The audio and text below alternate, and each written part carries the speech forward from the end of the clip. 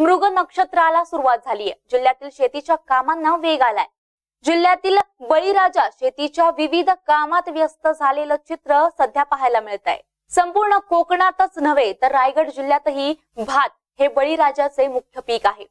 दोन ते तीन दिवस रायगड जिल्ह्यात पावसाने हजेरी लावल्यामुळे मान्सून सक्रिय होण्याची चाहूल बळीराजाला लागली असल्याने नांगरणी आणि पेरणीच्या कामाला वेग आला आहे. जिल्ह्यात मोठ्या प्रमाणावर भात शेती केली जाते. पावसाला सुरुवात झाली की बळीराजाचे संपूर्ण कुटुंब हे शेतीच्या कामाला लागते. सध्या बळीराजाने शेतात पेरणी नांगरणी आणि उकळ करण्याच्या कामाला सुरुवात केली आहे. मात्र बळीराजा आभाळाकडे बघून मान्सूनची प्रतीक्षा करत आहे. त्यावेळेला बघा बघायला गेलो ना तर पाऊस कमीच आहे. आणि जर पंधरा दिवसानंतर जर पाऊस जर पडला पंधरा दिवसानंतर तर ही शेती आता याचे हे आवणं लावणं लावण्यासाठी तयार होणारच आहेत. आणि जर पाऊस नाही पडला तर ते शेतीचा काही फायदा होणार नाही. मग परत पेरणी करायची की लागवड करायची काय? याच्यावर. बरं. आता मदत हा एक एक मदत दिले मोदी सरकारने. वर्षाला सहा हजार रुपये काय आहे वाटतं टप्प्याटप्प्याने दोन दोन हजार रुपये भेटतात शेतकऱ्यांना. खात्यामध्ये पडलेत का? आलेत आमच्या? खात्यामध्ये आलेत. एक टप्पा आलाय. एक टप्पा आलाय. म्हणजे प्रत्येकाच्या खात्यामध्ये एक टप्पा आलाय. आता याच्यानंतरचा टप्पा कधी येतो? आता या लावणीमध्ये का कापणीमध्ये?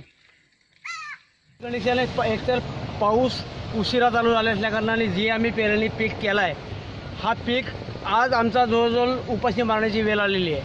हा पीक आम्ही एवढा पन्नास साठ रुपये किलोचा जो बियाणा वापरला तो वापरून आज आमचा तो वापरलेला बियाणा पूर्ण फुकट गेलेला आहे. आणि आज आज अशी वेळ आहे की तो करपून गेलेला आहे. त्याच्यामुळं आम्हाला ह्या टायमाला उपास मारायची वेळ येण्याची शक्यता आहे. आज आमची अवस्था लय बिकट आहे. जून महिना संपत आलेला आहे. पावसाचा थेंब नाही. पावसाचा थेंब नसल्यामुळे शेतकऱ्यावरती एवढा मोठा प्रसंग आलेला आहे की परत दुबारणी पीक करावं का काय? त्याच संदर्भात माझ्याबरोबर आता शेतकरी त्यांच्याकडनं आपण जाणून घेऊ. म्हणजे तुम्ही किती वर्ष शेती करता? आणि दुसरी गोष्ट आत्ता जर का पाऊस पडला नाही तर तुम्हाला दुबारी पीक करण्याचा प्रसंग येईल का? मी आत्तापर्यंत वीस ते बावीस वर्ष शेती हा व्यवसाय करतो. आणि कोकण हा भाताचं कोठार आहे. आणि हे सर्व ज्ञात आहे. तरीसुद्धा कोकणामध्ये आत्ता पावसामुळं शेतकरी एवढा हवालदिल झाला आहे की दुबार पेरणीचं संकट शेतकऱ्याच्या समोर येऊन ठाकलेलं आहे. कारण वटपौर्णिमेच्या आसपास आमच्या कोकणातील बऱ्याचशा शेतकऱ्यांच्या भात लावण्या पूर्ण व्हायच्या. परंतु अद्याप पावसाने दडी मारल्यामुळे शेतकऱ्यावरती दुबार पेरणीचं संकट आलेलं असून ह्या पावसाळी अधिवेशनामध्ये सरकारने आवाज उठून कोकणामध्ये दुष्काळ जाहीर करावा ही आमच्या शेतकऱ्यांची मागणी आहे.